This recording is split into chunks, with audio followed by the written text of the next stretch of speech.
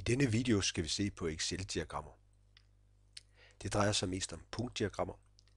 Vi tager udgangspunkt i et diagram, der er tegnet som et søjlediagram eller et stregdiagram. I Excel er der forskellige diagramtyper, og disse diagramtyper kan man se under indsæt-menuen. Der er søjle, streg, cirkel, liggende cirkel, område og punktdiagram. Her er tegnet et diagram som et stregdiagram, det er tegnet på basis af noget data, hvor man har indkomsten for mænd og kvinder, fordelt i forskellige grupperinger herude til venstre. Øh, disse grupperinger kaldes også i, i Excel for kategorier, og det er de kategorier, som vi har på x-aksen i diagrammet. Og på y-aksen har vi her mænds indkomst i procent og kvinders indkomst i procent, hvor man kan sammenligne de to kurver, hvor at de blå er mænd og de røde kvinders.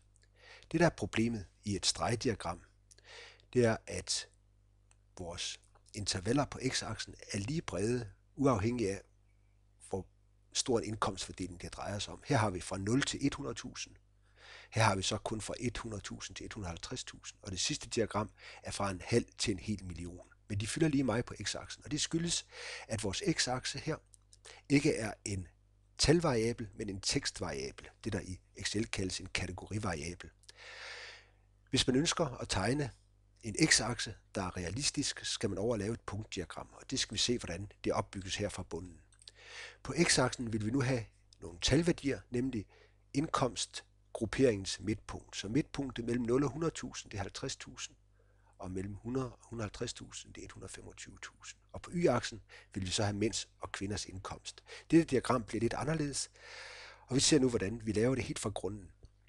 Her kan man ikke markere og putte ind, for et x-variablen står her til højre for y-variablen, og derfor kan Excel ikke gøre det der automatisk. Så derfor er man nødt til at sige, jeg vælger et punktdiagram her, og jeg vælger så et punktdiagram med øh, streger imellem.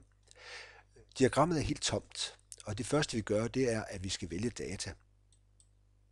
Og man siger, at man skal tilføje data til diagrammet, og vi skal have et navn, og vi starter med indtaste mændenes fordeling, og så starter vi med at indtaste x-værdier, og x-værdierne skal indtastes i diagrammet her.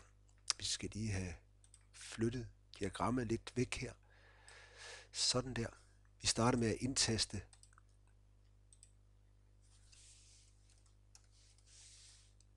mens og x-værdierne er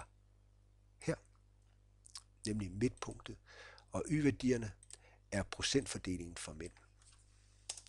Den får vi tegnet her, og siger, at det er okay. Vi vil så tilføje en ny serie, og den nye serie, det skal være kvinder, og x-værdierne er her de samme,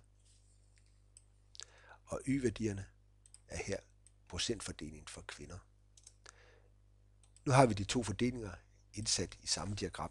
Man kan vælge forskellige diagramtyper op og under diagram layout, og nogle er mere overskuelige end andre. Her er et, hvor man også kan indtaste sine titler på akserne, og her kan man gå ind og taste, at det her det drejer sig om indkomst. Og op på y-aksen kan vi sige procent. På den måde har man tegnet et XY-diagram, der nu har den rigtige fordeling, og her er et hvert punkt et punkt i et koordinatsystem med et tal på x-aksen og et tal på y-aksen. Det var et punktdiagram i Excel.